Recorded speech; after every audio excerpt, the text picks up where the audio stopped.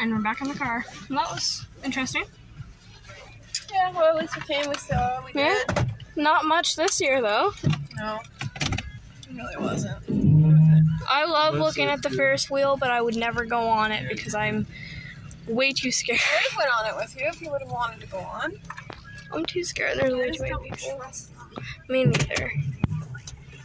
Anyway, comments turn off. Let me know on different videos this.